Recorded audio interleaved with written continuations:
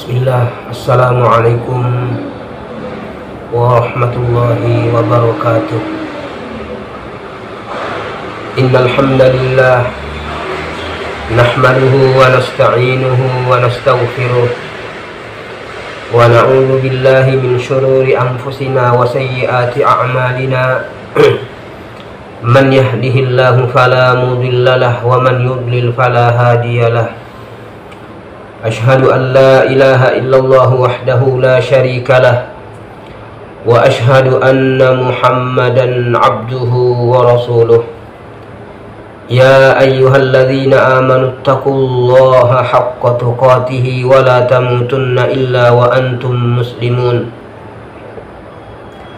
يا أيها الناس اتقوا ربكم الذي خلقكم من نفس واحدة وخلق منها زوجها وبث منهما رجالا كثيرا ونساء. واتقوا الله الذي تساءلون به والأرحام. إن الله كان عليكم رقيبا. يا أيها الذين آمنوا اتقوا الله وقولوا قولا سديدا. يصلح لكم أعمالكم ويغفر لكم ذنوبكم. ومن يطع الله ورسوله فقد فاز فوزا عظيما أما بعد. فإن أصدق الحديث كتاب الله وخير الهدي هدي محمد صلى الله عليه وسلم وشر الأمور محدثاتها فإن كل محدثة بدعة وكل بدعة ضلالة وكل ضلالة في النار. Ma'asyiral muslimin rahimani wa rahimakumullah. Kita lanjutkan pelajaran kita di dalam membaca dan mengkaji risalah yang ditulis oleh Syekh Dr. Mahmud Al-Misri hafizahullah taala yang berjudul Al-Fiqhul Muyassar lil Mar'atil Muslimah. Jamaah sekalian rahimani wa rahimakumullah. Sampai kita pada pembahasan tentang masalah syarat syarat sahnya sholatnya seorang wanita.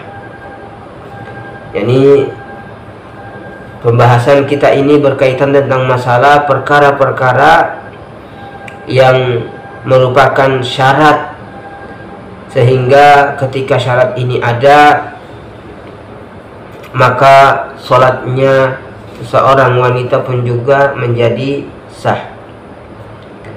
Kalau syarat ini tidak ada, maka sholatnya tidak sah.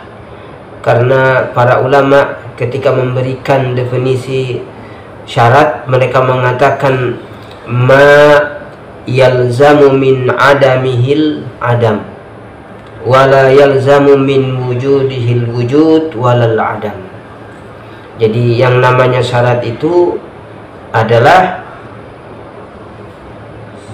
sesuatu yang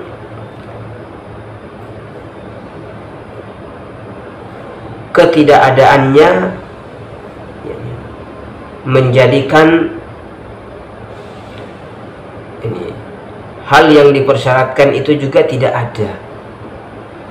Dan keberadaannya tidak mengharuskan keberadaan sesuatu yang dipersyaratkan atau yakni tidak ketidakadaan ketidakadaannya. Jadi syarat ketika tidak ada maka hal yang merupakan perkara yang dipersyaratkan maka itu juga tidak ada. Tetapi ketika itu ada maka tidak serta merta bahwa e, yang dipersyaratkan itu ada atau tidak ada. Nah, jamaah sekalian, apa aja syarat yang harus dipenuhi oleh seorang wanita sehingga sholatnya dikatakan sah Kata beliau al-awwal atau awalan al-ilmu biduhulil waqti. pengetahuan berkenaan tentang masuknya waktu jadi seorang wanita dia harus tahu bahwasanya dia sholat ketika sudah masuk waktu karena kita ketahui bersama bahwasanya Allah Subhanahu wa taala berfirman inna sholata kanat 'alal mu'minina kitaban mawquta. Allah Subhanahu wa taala ini sudah mewajibkan sholat bagi orang-orang mukmin pada waktu yang Allah telah tentu tentukan.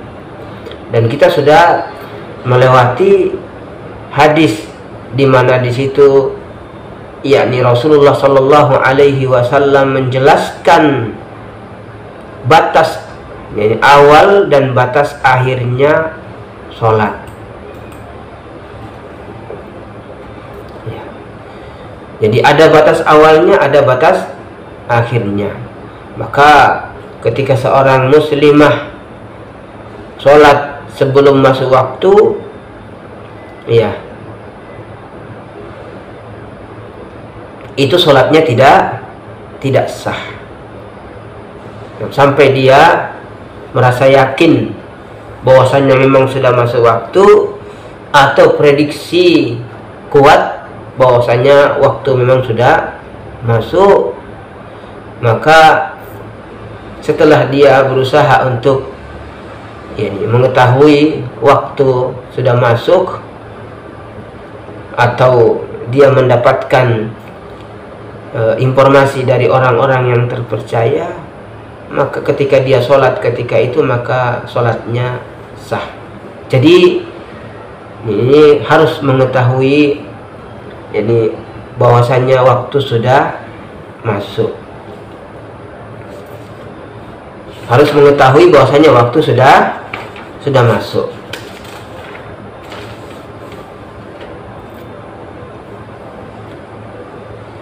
Jadi, seperti yang kita katakan tadi bahwa mengenai tentang masalah masuknya waktu ini ya apakah dengan keyakinan?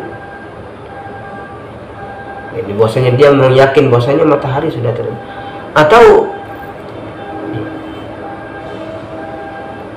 tidak sampai kepada keyakinan tetapi ghalabatul zon ini prediksi kuatnya bahwasanya waktu sudah sudah masuk maka orang yang sholat ya pada waktu itu ini sholatnya dikatakan sah karena sudah masuk waktu. Sanian kata beliau ini syarat yang kedua. At-taharatu minal hadatsil asghari wal akbar. Suci dari hadas kecil dan hadas besar hadas kecil seperti orang kentut ya. Orang buang air kecil orang buang air besar.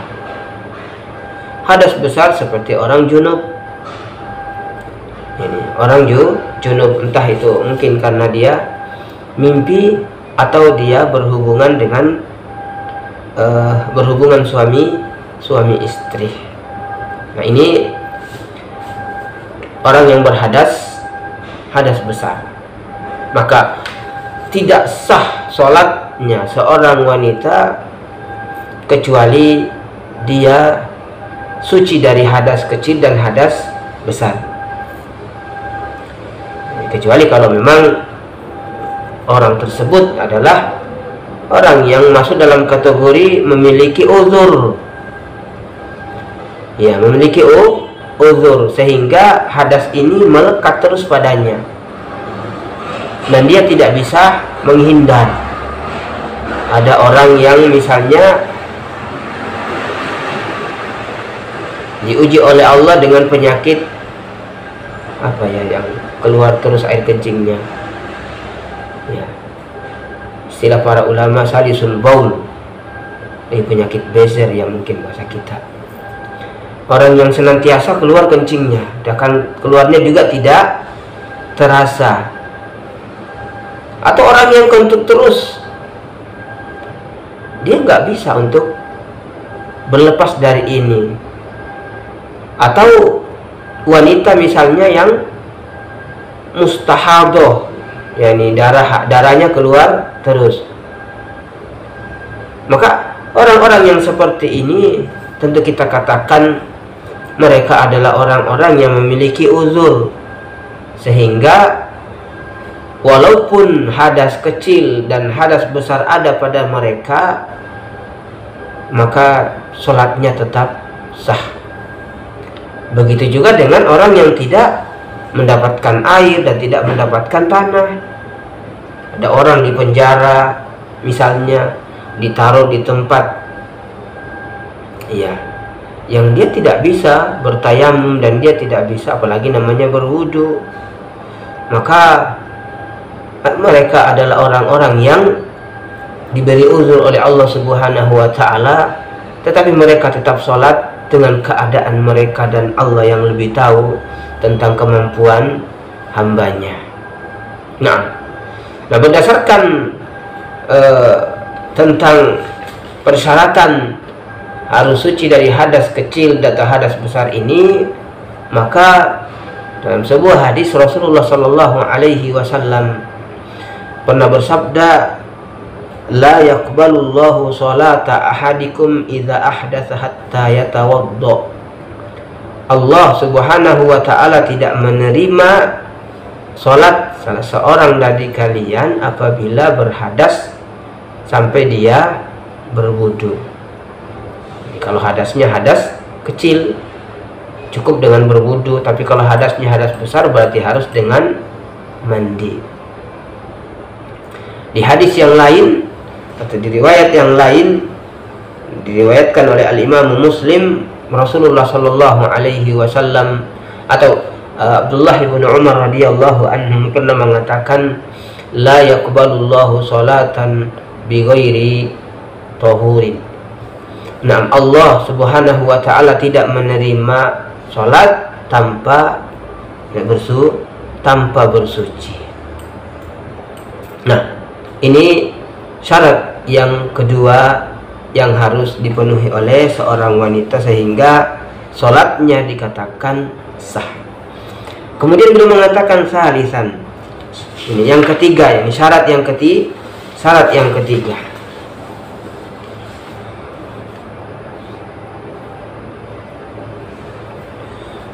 Syarat yang yang ketiga. Toharatus saubi wal badani wal makan. Ini, sucinya pakaian yang digunakan. Kemudian badan dan tempat. Yani pakaian yang digunakan sholat. Kemudian eh, badan orang yang sholat dan tempat yang digunakan untuk sholat ini suci dari apa? Dari najis. Suci dari dari najis. Nah, suci dari najis. Hanya saja jamaah sekalian, uh, para ulama memiliki pandangan yang berbeda dalam masalah ini. Apakah sucinya pakaian atau badan atau tempat itu dari najis merupakan syarat? Ataukah yakni hukumnya hanya wajib? Karena ada perbedaan jamaah sekalian. Kalau kita katakan syarat berarti kalau ada orang sholat kemudian di pertengahan sholat dia sadar bahwasanya pakaian yang dia gunakan tadi kena air kencing. Atau di badannya ada najis yang melekat ya. Atau tempat yang dia tempati sujud di situ juga ada najis. Dan dia sedang atau sudah dalam sholatnya. Ketika kita katakan syarat maka konsekuensinya salat sholat yang telah dikerjakan itu dianggap tidak sah dan dia harus mengulanginya. Dan tentunya dengan terlebih dahulu menghilangkan najis yang melekat pada badannya berbeda ketika kita mengatakan bahwasanya ini yakni menghilangkan yakni atau mensucikan najis dari badan atau dari pakaian atau dari tempat yang digunakan sholat ini hukumnya wa, wajib saja. Berarti kalau terjadi kasus yang kita sebutkan tadi tidak harus mengulangi sholatnya tetapi cukup menghilangkan najis yang kita ketahui ada kalau misalnya ada di sandal di sandal ya. Kemudian kita melanjutkan ke rakaat setelahnya tanpa harus mengulanginya. Nah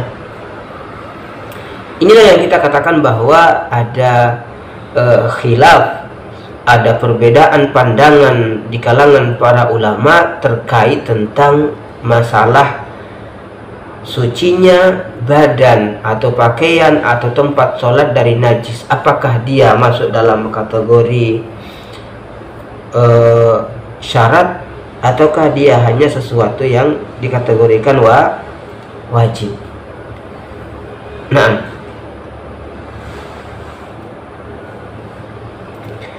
kalau hadis-hadis atau dalil-dalil yang menunjukkan ya, yang menunjukkan akan wajibnya mensucikan badan, pakaian dan tempat sholat itu dari najis itu banyak. Bah, banyak di antaranya disebutkan oleh para ulama firman Allah Subhanahu wa taala wasiyabaka fatahhir. Iya, dan pakaianmu maka suci sucikanlah nah dari sini juga dipahami oleh para ulama bahwasanya kalau mensucikan pakaian wajib maka tentu mensucikan badan juga lebih utama lebih utama. Ya, lebih utama lebih utama.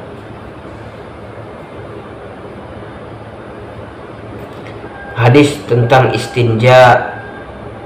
Ini hadis tentang istijmar ini semuanya menunjukkan bahwasanya kewajiban untuk mensucikan badan dari najis.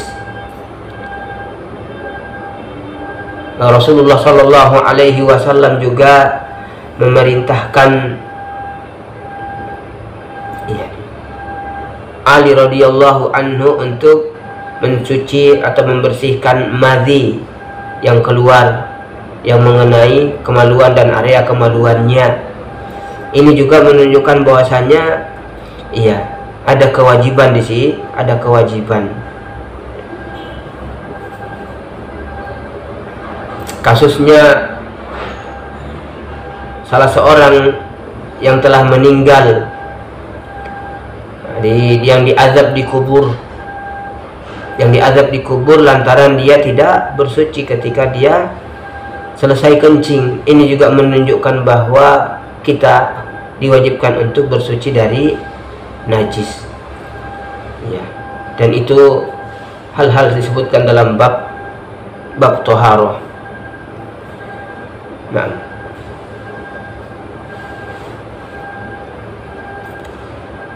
Kasus di mana Nabi Shallallahu Alaihi Wasallam pernah sholat bersama para sahabat. Dan ternyata di sandal beliau ada najis. Diberitahu oleh Jibril ketika itu beliau eh, ini melepaskannya dan melanjutkan sholatnya. Dari sini juga dipahami oleh para ulama bahwasanya kita wajib untuk menghilangkan najis dari ya pakaian yang digunakan untuk sholat.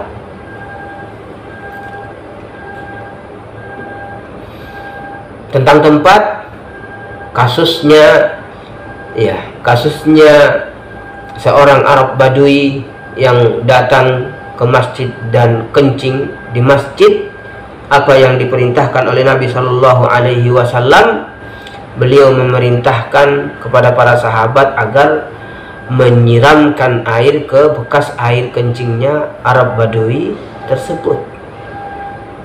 Ya. Semua ini menunjukkan bahwasanya bahwasanya ini kesucian tempat sholat dari najis ini adalah sesuatu yang diperintah perintahkan. Nah, kembali lagi seperti yang kita katakan tadi, ada silang pandangan di kalangan para ulama apakah masuk dalam kategori syarat ataukah hukumnya wajib dan kita sudah sebutkan konsekuensinya berbeda. Ketika kita katakan syarat, maka ya ketika kita sedang sholat dan kemudian di dalam sholat kita kita mengetahui ada najis yang melekat di tempat sholat kita atau di badan kita atau pakaian kita maka mau tidak mau kita harus berhenti sholat dan mengulanginya dari awal tentunya setelah membersihkan najis tersebut. Adapun ketika kita mengatakan itu hanya wajib maka sholatnya orang yang dia mendapati najis tatkala dia sholat maka dia tidak harus mengulang dari awal tetapi cukup dengan melepaskan najis tersebut ketika mampu untuk melepaskannya kemudian dia melanjutkan. Dan uh, ini kuat karena kasus yang kita sebutkan tadi di mana Rasulullah Shallallahu Alaihi Wasallam pernah sholat bersama para sahabatnya dan ternyata di sandal beliau itu ada najis najis. Apa yang dilakukan oleh beliau? Beliau cukup melepaskan sandalnya dan melanjutkan sholatnya. Maka dari sinilah seperti Al-Imam Syaukani rahimahullah ta'ala berpendapat bahwasanya menghilangkan najis itu wajib tetapi bukanlah syarat bukanlah syarat karena kalau syarat itu membatalkan sholat adapun wajib ini maka tidak membatalkannya. Nah kalau sholat maka dia wajib mengu mengulang. Dan dalam kasus ini Rasulullah Shallallahu Alaihi Wasallam tidak mengulangi tetapi dia langsung menyempurnakan sholatnya ketika i, ketika itu. Oleh karena itulah Syekh Mahmud Al-Mistri rahimahullah taala sendiri berpendapat dan mengatakan warrajihu anna taharatas thawbi wal badan wal makan wajibatun lakinnaha laisat syartan fi sihhatis shalah. Kata beliau yang rajih yang kuat dari dua pendapat yang ada ini bahwasanya sucinya pakaian sucinya badan dan sucinya tempat dari najis itu hukumnya wajib tetapi bukanlah merupakan syarat sahnya sholat. Ya.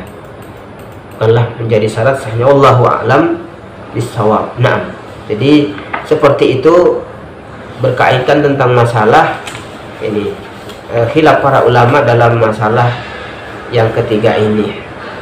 Nah berikutnya kata beliau rabian yang keempat sitrul aurah. Ini syarat yang ke syarat yang keempat. Yakni menutup aurat. Ini menutup aurat baik laki-laki maupun wanita hukumnya wajib berdasarkan ijma kesepakatan para ulama. Ya. bahkan dalam kesendirian pun juga sebagian para ulama berpendapat bahwasanya menutup aurat ya hukumnya wajib. Hukumnya hukumnya wajib. Nah ini perkara yang harus terpenuhi. Karena ini adalah merupakan yani ini adalah merupakan syarat diterimanya sholat. Ini sholat seseorang seseorang. Jadi menutup aurat ini adalah sesuatu yang harus dilaku dilakukan. Nah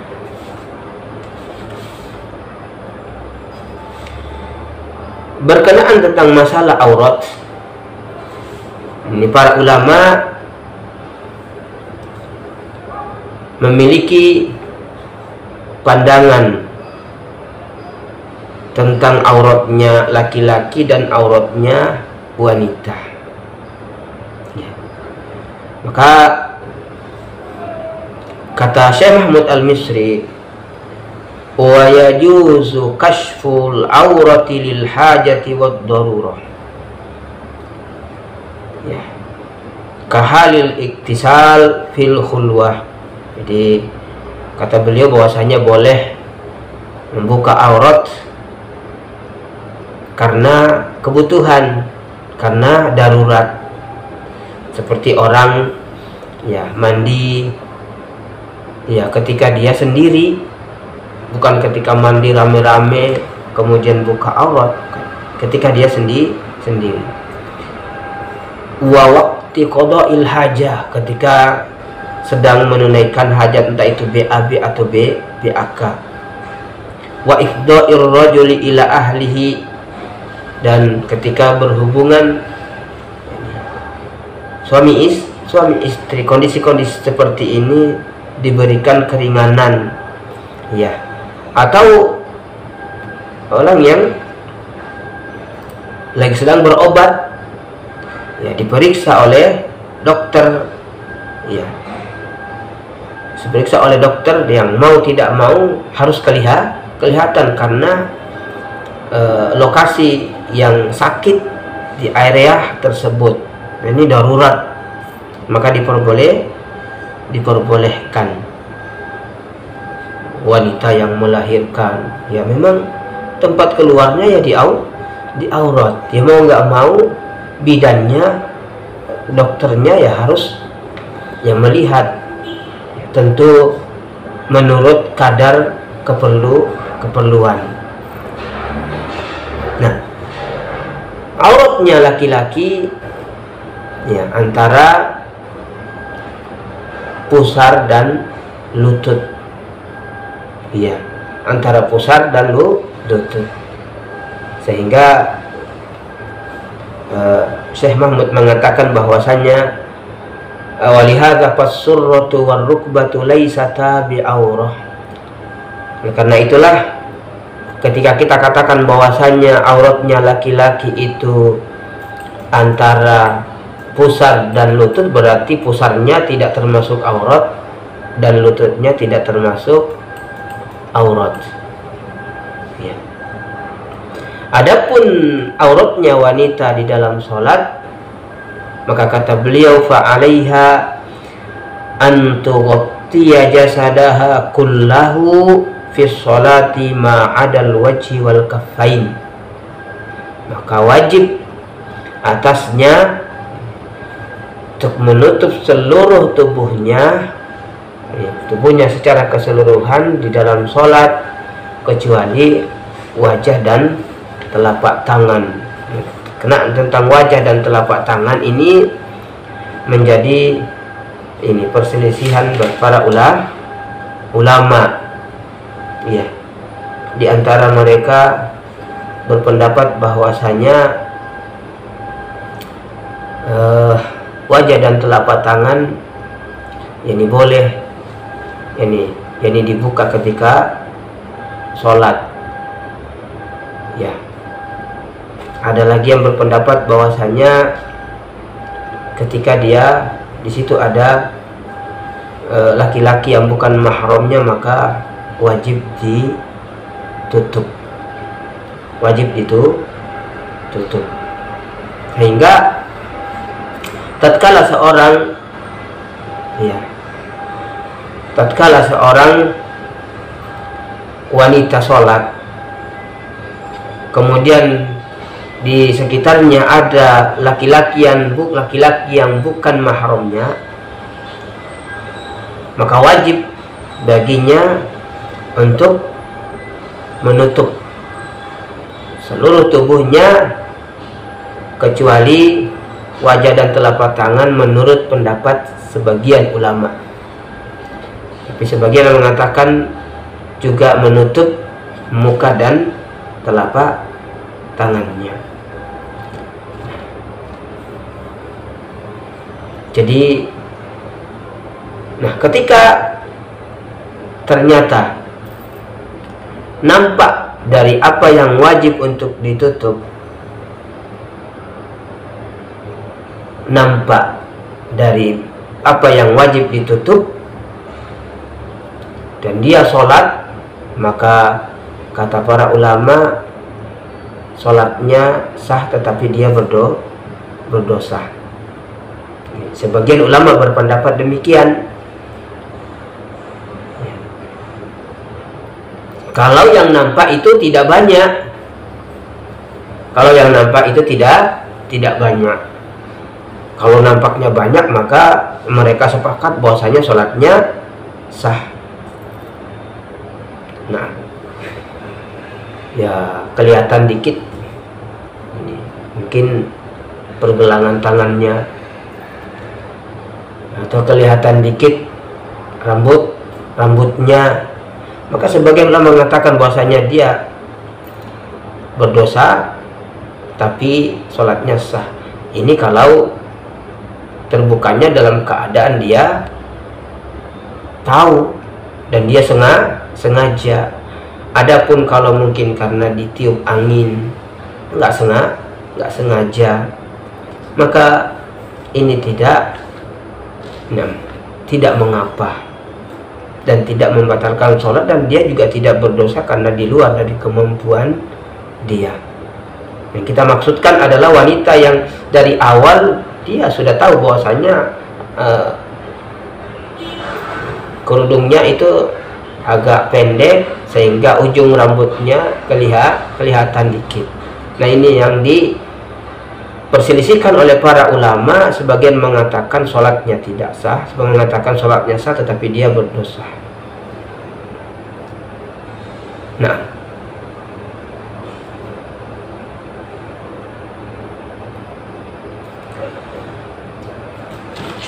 nah bagaimana dengan kaki. Bagaimana dengan kaki seorang wanita? Apakah juga dia wajib untuk ditutupi atau tidak? Kata Syekh Mahmud Al-Misri, faqad warada hadithu ummi salamah annaha sa'alatin nabiyya sallallahu alaihi wasallam. Di datang hadisnya Ummu Salamah bahwasanya beliau bertanya kepada Nabi Shallallahu alaihi wasallam Atusallil mar'atu fi dir'in wa khimarin wa laysa 'alaiha izar? Apakah seorang wanita itu sholat dan dia tidak memiliki dir dir ini kayak gamis lah pakaian. Dan juga tidak memiliki penutup kepala dan tidak memiliki sarung. Ini pakaian bawah. Qal idza kana dil usabiqan yughatti afan atau sallil mar'atu fi dir'in wa khimarin laisa 'alaiha izar. Nah, apakah seorang wanita sholat menggunakan uh, gamis dan khimar dan dia tidak memiliki pakaian bawah. Jadi yang dipakai adalah apa? E, pakaian atas ada penutup kepala dan juga ada e, jubah gamis tetapi pakaian bawahnya yakni sarungnya tidak tidak ada. Kata beliau idza kana diru usabiqan yughatti zuhura qadamaiha kalau gamisnya itu jadi bisa menutupi punggung-punggung kedua kakinya tetapi hadis ini sebagaimana dikatakan oleh para ulama bahwasanya hadisnya lemah dilemahkan oleh para ulama dan hadis ini diriwayatkan oleh Al Imam Abu Da Abu Dawud. Nah, berangkat dari ini maka seperti Al Imam Syafi'i rahimahullahu taala beliau mengatakan dalam kitabnya Al Um wa kullul mar'ati auratun yakni bis sholah. Wanita seluruhnya itu adalah aurat di dalam sholat illa wajhaha wa kaffaiha wa dhahra qadamaiha kecuali wajahnya dan kedua telapak tangannya dan punggung kaki kedua kakinya di pendapatnya Al-Imam Syafi'i mengatakan bahwasanya mengecualikan berarti kalau kita melihat Berarti Al-Imam Syafi'i berpendapat bahwa menutup jadi punggung kaki itulah tidak atau tidak wa tidak wajib. Iya. Karena beliau mengatakan illa wajhaha wa kaffaiha wa dhahra qadamai qadamaiha. Jadi beliau mengecualikan dari apa yang beliau kategorikan sebagai Naam au aurat di dalam sholat dan Al Imam Tirmidzi rahimahullahu taala Al Imam Tirmidzi rahimahullahu taala juga uh, menukilkan. Ya bahwasanya apabila punggung kedua kakinya itu terbuka maka sholatnya yakni boleh yakni sholatnya sah. Dan ini kata beliau madhabnya al-imam Abu Hanifah sebagaimana yang dinukilkan oleh Syekhul Islam Ibnu Taimiyah dalam kitabnya Majmu' Fatawah berbeda dengan al-imam Ahmad rahimahullah. Al-imam Malik begitu juga dengan al-imam Malik rahimahullah. Berpendapat bahwasanya wanita semuanya adalah aurat. Ya bahkan al Imam Ahmad berpendapat bahwa e, seorang wanita ya ketika sholat tidak boleh kelihatan sampai pun kukunya juga tidak boleh kelihat kelihatan.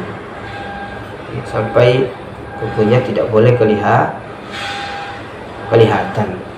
Nah Syekh Mahmud Al-Misri jadi berusaha untuk uh, merangkum khilaf di kalangan para ulama dan mengatakan walladhi yatarajjahu li jawazus salati ma'a kashfi zahiril qadam min aw fi ghairi hadratil ajanib wa in kana al ahwat na'am sitruhuma wallahu a'lam. Jadi yang rojih menurut beliau adalah bolehnya sholat dibarengi dengan terbukanya punggung kaki dalam kondisi tidak ada laki-laki yang bukan mahram jadi wanita menurut pendapat yang dikuatkan oleh Syekh Mahmud Al-Misri bahwasanya seorang wanita itu boleh sholat dalam keadaan punggung kakinya kebuka dengan catatan ketika itu dia sholat dan tidak ada laki-laki yang bukan mahram yang ada di sekitarnya ya, ada dia sholat sama eh, wanita-wanita uh, yang lain maka menurut apa yang dikuatkan dan dirojihkan oleh beliau maka bo boleh. Tetapi beliau juga mengatakan meskipun yang lebih hati-hati adalah menutup menutupnya. Nah di sini ada khilaf di kalangan para ulama tentang kebolehan. Tetapi mereka sepakat bahwa kalau menutupnya itu tentu lebih utama, lebih utama. Nah, di kata beliau yustahabbu an tusalliyal mar'atu nah fi thiyabil lati tasturu badanaha fama kana fihi ziyadatun fit tasattur fahuwal afdal dianjurkan wanita untuk sholat menggunakan pakaian yang menutup badannya. Maka kata beliau semakin ini banyak tambahannya untuk menutup badannya maka itu semakin utama. Semakin lebar yani yang menutupi badannya maka itu semakin baik. Ya semakin baik karena, karena itu kita dapatkan bagaimana ulama seperti al Imam Syafi'i rahimahullahu taala ketika menjelaskan pakaian wanita dalam sholat beliau mengatakan qad ammatuhum ala dir'i khimar. Sepakat umumnya para ulama sepakat bahwasanya mereka menggunakan jadi wanita itu menggunakan gamis dan khimar yang penutup kepala wa ma fahuwa khairun wa astar dan lebih dari itu ketika ditambah lagi dengan pakaian bawah menutupnya maka itu lebih baik dan lebih menutupi ya. ada jilbabnya lagi nah, maka ini lebih baik lebih baik. Nah jamaah sekalian bagaimana dengan uh, anak wanita yang belum balik misalnya? Apakah dia juga wajib untuk menggunakan tutup kepala ketika dia sholat? Ya. ataukah tidak maka kata Syekh Mahmud Al-Misri al-bintu saghiratul lati lam tahid wala aw la yajibu 'alaiha al-ihtimam asna as-shalah anak perempuan yang belum haid ini belum balik maka dia tidak wajib menutup menutup kepalanya ketika sedang sholat. Kenapa karena dalam hadis disebutkan la yakbalullahu salata haidin illa bihimar Allah tidak menerima sholatnya seorang wanita yang sudah balik kecuali dengan himar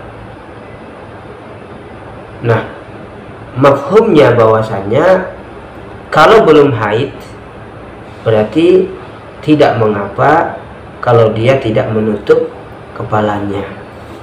Jadi seperti itu bahwa kondisi wanita misalnya yang belum haid dia sholat dalam keadaan tidak menutup kepalanya maka tidak mengapa.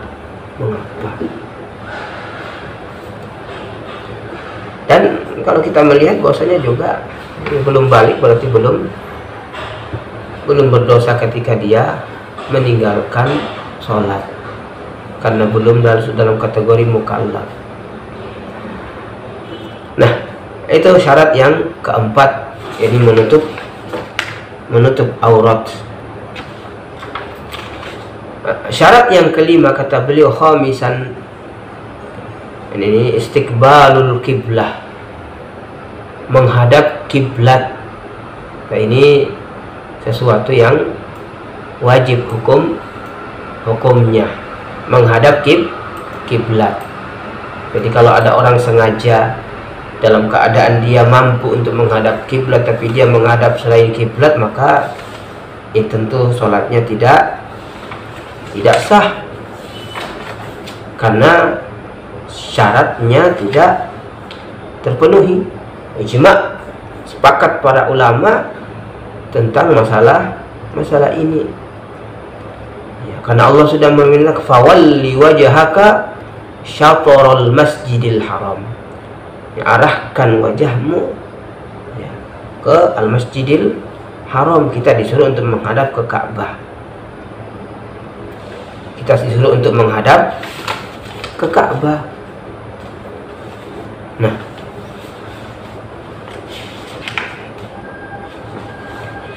ada mungkin kondisi di mana seseorang tidak mampu untuk menghadap ke Ka'bah.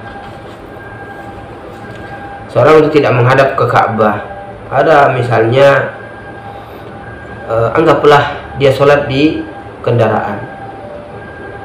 Iya. Kendaraan umum.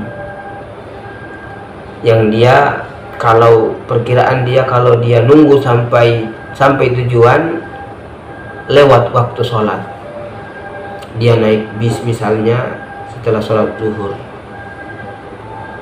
habis itu sholat asar belum. Dia perkirakan bahwasanya bis ini akan nyampe setelah maghrib. Maka dia sholat zuhur dia sholat asar. Iya. Ketika sudah waktunya di mobil. Kalau dia mampu menghadap kiblat, menghadap kiblat.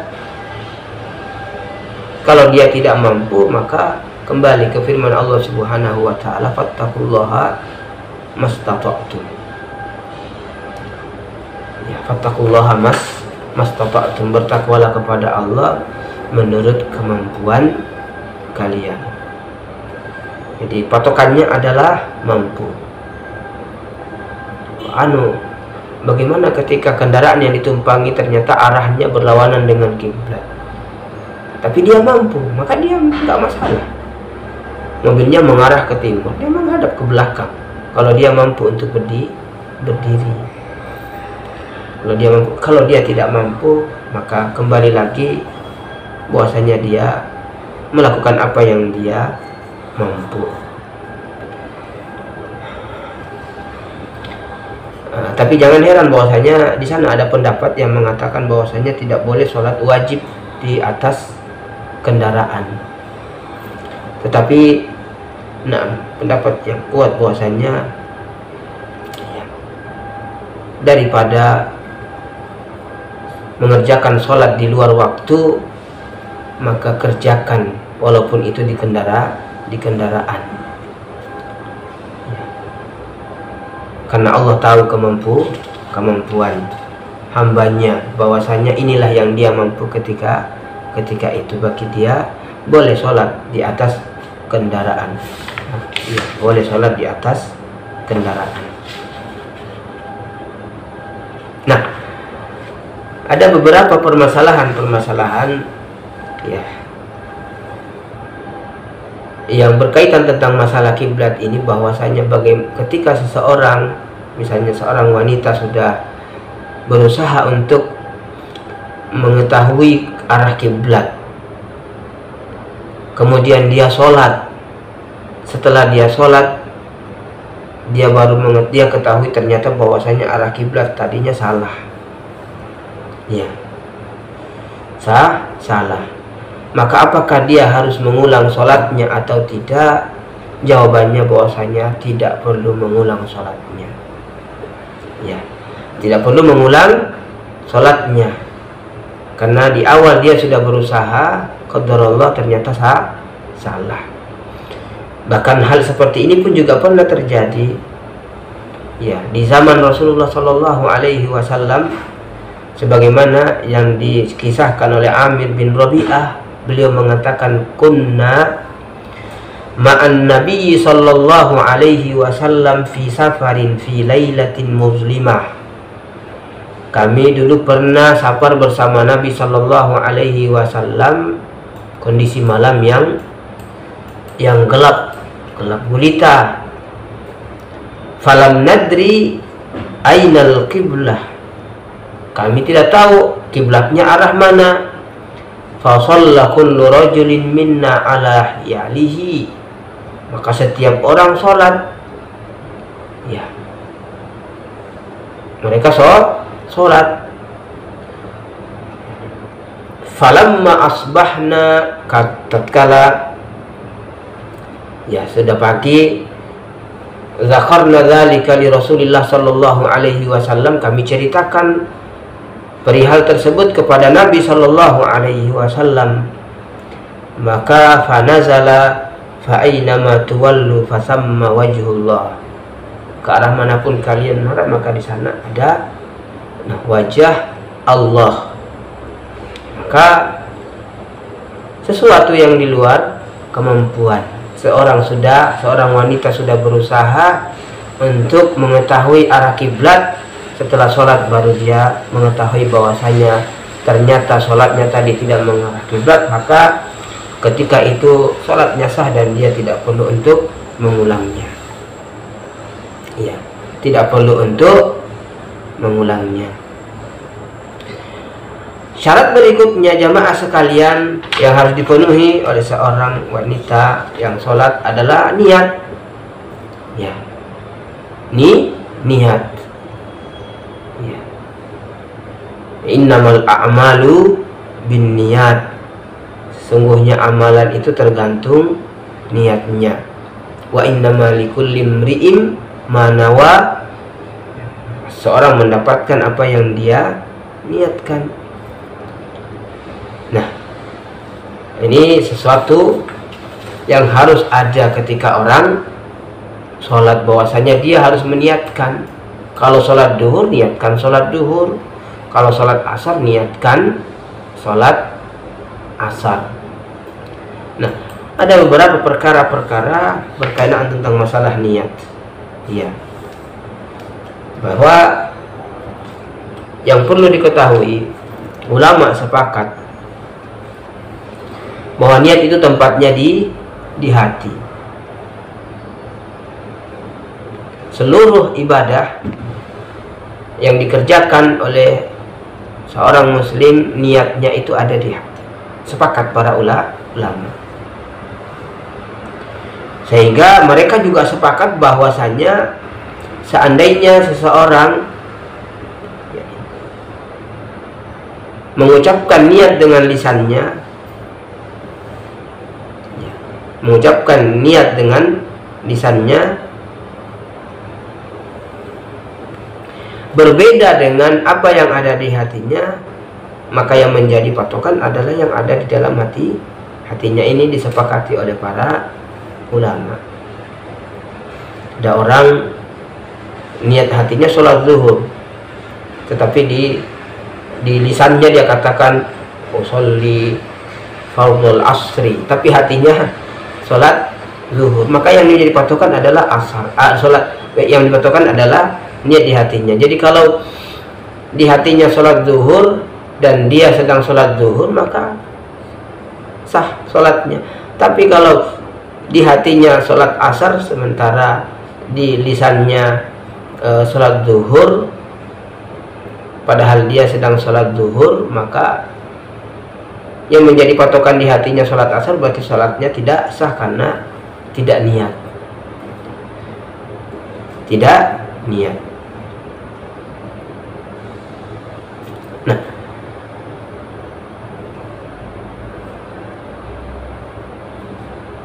para ulama juga mengatakan bahwasanya melafazkan niat melafazkan niat ini adalah perkara yang tidak pernah dikerjakan oleh Nabi Shallallahu Alaihi Wasallam. Disepakat para ulama bahwasanya tidak pernah dikerjakan oleh Nabi Shallallahu Alaihi Wasallam tidak pernah dikerjakan oleh Khulafaur Rasyidin. Iya. Bahwasanya melafazkan niat dan menjaharkannya itu sesuatu yang baru. Sesuatu yang baru.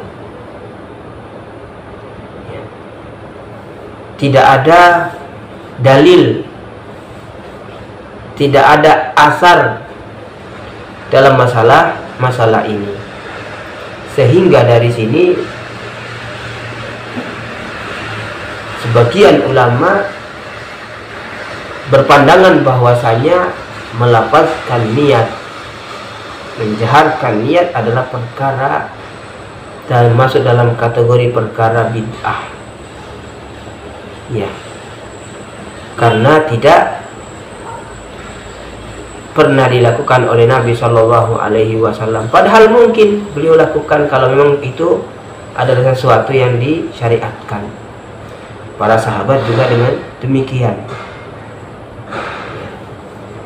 Syekhul Islam Ibn Taimiyah rahimahullahu taala memiliki perkataan dalam masalah ini. Ya.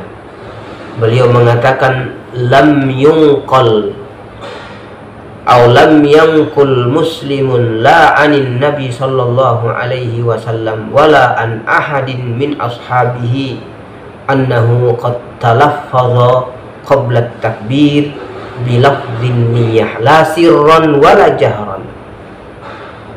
Wala annahu amara bidzalik. Jadi tak seorang pun dari seorang tak, tak seorang pun muslim yang menukilkan dari nabi dan juga tidak dari salah seorang sahabat na, nabi. Bahwasanya Nabi Shallallahu Alaihi Wasallam melafazkan sebelum takbir dengan lafaz niat. Jadi melafazkan niat sebelum takbir.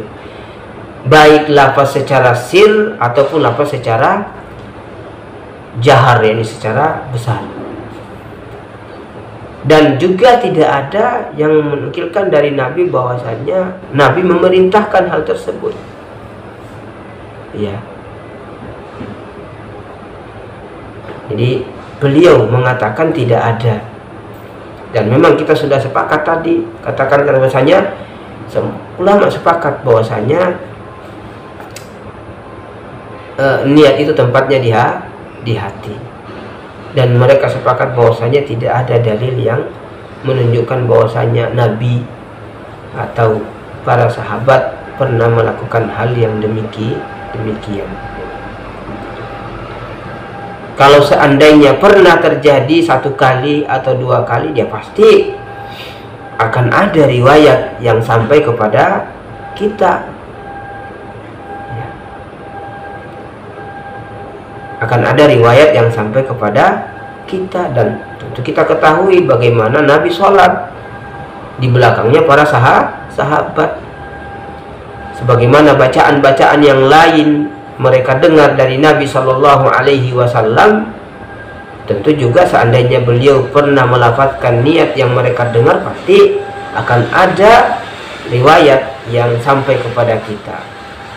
Ya, akan ada riwayat yang sampai kepada kepada kita.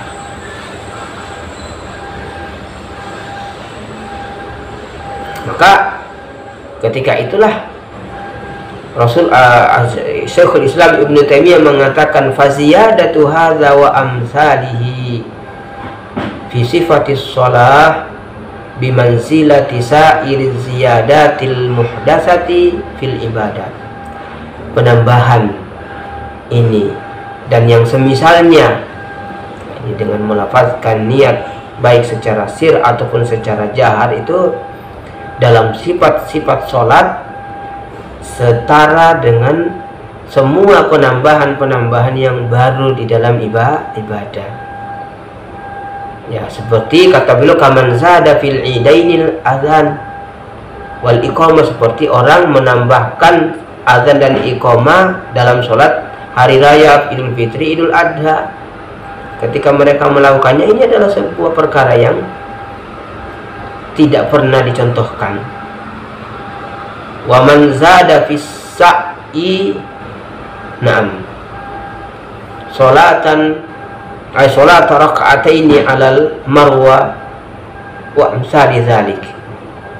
Ya sebagaimana juga orang menambah di dalam ketika mereka sa'i salat dua rakaat di atas bukit marwa.